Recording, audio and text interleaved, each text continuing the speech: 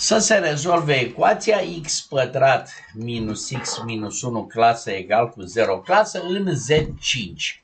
Atenție, vă readuc aminte de la teorie că ZP cu adunarea și cu mulțirea dacă P este prim, ăsta este corp comutativ.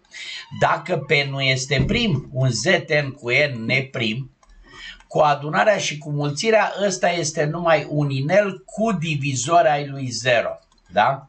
Bun. Într-un corp, însă, atenție, pot să fac absolut orice lucru ca și în, uh, uh, ca și în R sau în C, da? sau în Q, care sunt corpuri. Numai că, atenție, la ecuația de gradul 2, dacă faceți radical din ceva, dintr-una clasă, trebuie să vedeți, nu neapărat există acest B clasă încât B clasă la pătrat să fie A, da? Că asta înseamnă radicalul. Și atunci o să vedem. Deci prima metodă, uite, hai stai să vă fac prima. Prima metodă ar fi asta. Să luați toate elementele lui Z5, care înseamnă 0 clasă, 1 clasă, 2, 3 și 4 clasă și să le înlocuiți aici. Și să vedeți dacă vă dă 0. Asta e o tâmpenie aici cu plus minus radical din 5, dacă stă în Z5, da?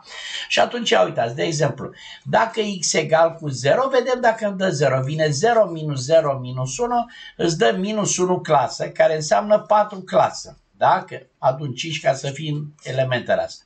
Deci contradicție, nu merge. Da?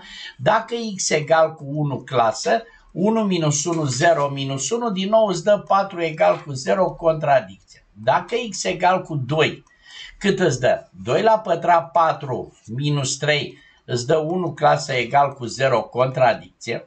Dacă x egal cu 3, mai avem 2, da? 3 și 4.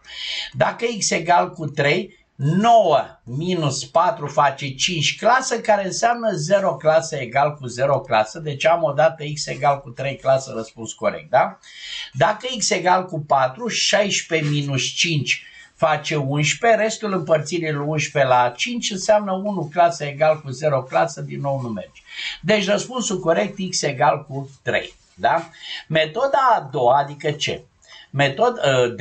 Metoda a doua înseamnă să aplicăm formula ecuației de gradul 2, care zice așa, bă, x1, 2 egal cu 1 clasă, minus b, da? Plus minus radical din 1 minus 4AC 1 plus 4, 5 clasă, adică 0 clasă, supra 2A, supra 2, care supra 2, 0 e 0, da? Înseamnă de fapt 1 înmulțit cu 2 la minus 1. Asta înseamnă împărțirea într-un uh, corp, da? într-un corp comutativ. Care este inversul lui 2? Ce înseamnă? Cum, or, cum ăsta este corp, orice element diferit de 0 are invers la mulțire. Adică 2 ori cineva trebuie să facă 1 clasă. 2 ori cine? Pe iată, 2 și elementul invers știți că dacă există este 1. 2 ori 3 fac 6, 6 clasă în Z5 este 1. Deci ăsta este 1 ori 3 clasă care îți dă 3 clasă. Deci din nou x egal cu 3 clasă. Da? Și a rezolvat problema.